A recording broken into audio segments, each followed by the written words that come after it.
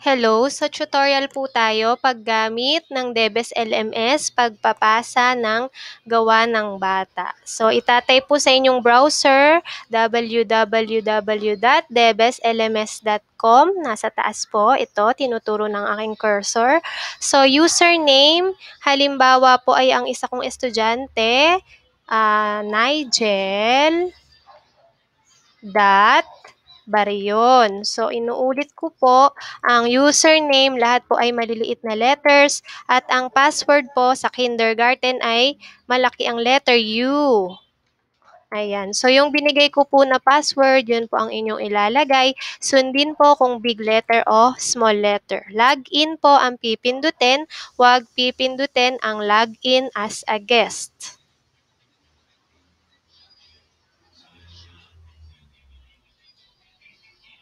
Ayan po, so loading.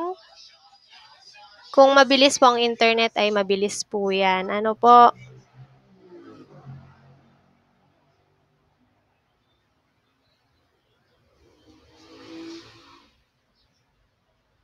Sige, wait lang po natin. Wait lang po natin.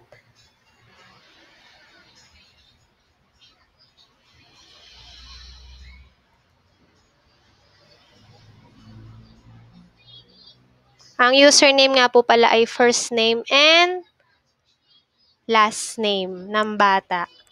Ayan, so nakalagay po dyan, save password. Kiniklik ko po ang save para po hindi nyo malimutan ng username and password. Save.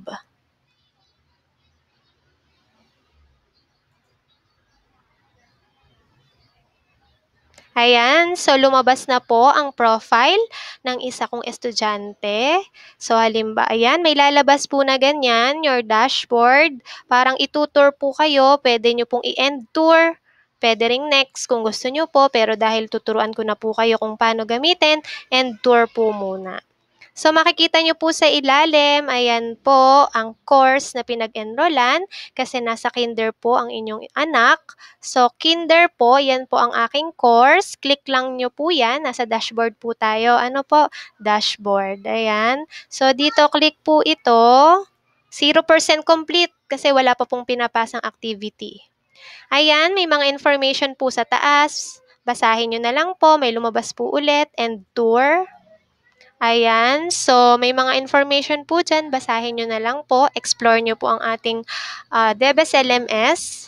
Yan po ay ako ang nag-ayos, itong course na ito. So, ito po, ayan, naglagay na rin po ako ng soft copy ng module first quarter, PDF file para po sa hindi pupunta sa akin para kumuha ng modules bukas. So, ito na po yung unang activity, sample only. Makikita nyo po yan, ito po yung activity, preview ng activity. Nakalagay sa tapat, may kahon. Bakit may kahon? Ibig sabihin, activity po ito na dapat pagpasahan ng bata. Wala po yung check, ibig sabihin kasi wala pa pong naipapasang activity. Magkakaroon po yan ng check mamaya kung makakapag-upload po kayo ng gawa ng inyong anak. Okay, so ang gawa po, pwede pong sulat kamay sa papel o notebook o kopyahin ng guardian, sasagutan ng bata, pipicturan po, yun po ang i-upload. Pwede rin naman pong mag-print, isa-save po ito sa inyong laptop.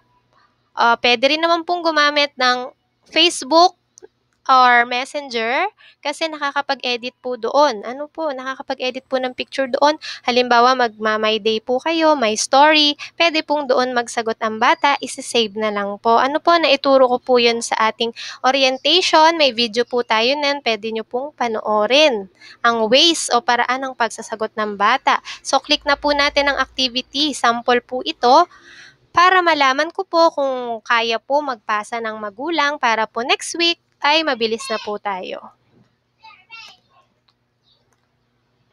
Okay. Ayan, ito po yung activity. So, ito po yung JPEG file. Pag kinilik nyo po yan, magsasave na po yan sa laptop or sa cellphone. Ito naman po, PDF file. Okay po. So, pag dinownload po ang PDF file, ayan, pwede po kayong magsagot doon. Pwede po magsagot ang bata doon, magdo-drawing po siya. Okay, so ang ituturo ko po ngayon ay pagpapasa po. Halimbawa, may sagot na ang estudyante ready na po yung sagot niya, pinicturean nyo na po, mag upload na lang. Yun po ang ituturo ko ngayon. Add submission. Ayan, makikita nyo po dito, oh, submission status, no attempt, wala pa pong sagot o wala pa pong i-upload. So, add submission. Tapos po, hintayin nating mag-load. I-click po ang typewriting icon. At hahanapin po dito ang upload a file. Mag-upload po tayo ng file. Yan. At choose file. Hanapin po natin yung activity na sagot po ng bata. So, ito po yung example ko. Ano po? Ayan. Ito po isinagutan. Pwedeng gamit ang PDF, app, pwede sa laptop, pwede rin po sa Messenger, Facebook. Click lang po natin yan. Pag lumabas, lumabas na po dito yung file, ibig sabihin, na-click nyo na po. So, huwag kalimutang pindutin pa itong upload this file. Ayan. At huwag kalimutang pindutin ang pinakamahalaga po, save changes. Kasi pag hindi nyo po pinindot ang save changes, mawawala po lahat ng inyong pinasa. Wait lang po natin na mag-load. Ayan, at makikita nyo po, nakalagay na sa submission status, submitted for grading. Pag na-checka na po ni teacher, nilagyan ng grade ni teacher, lalabas po dito sa grading status ang grade ng bata. At pwede nyo pong pindutin ng edit submission kung may uh, idadagdag po kayo, pwede ring remove submission. Halimbawa, mali po yung na-upload ninyo. Okay. Tapos po, tingnan natin. Ano na ba ang mangyayari? Pupunta po tayo sa dashboard. Ito po. Ayan, click nyo lang po ito, dashboard. Okay, pwede rin po ito, dashboard. Alin man po dito. Ano po? Okay, dashboard. Ayan, profile ni Nigel. So, sa ilalim, Ayan, dito po, oh, recently accessed courses. Ibig sabihin, ginamit nyo na po ang ating course. Pumasok na kayo. At dito sa ilalim, lalabas na po ang 100% complete. Kasi nakapagpasa ng estudyante o ang parent ng gawa ng kanyang anak. Ganyan lang po kadali. Okay?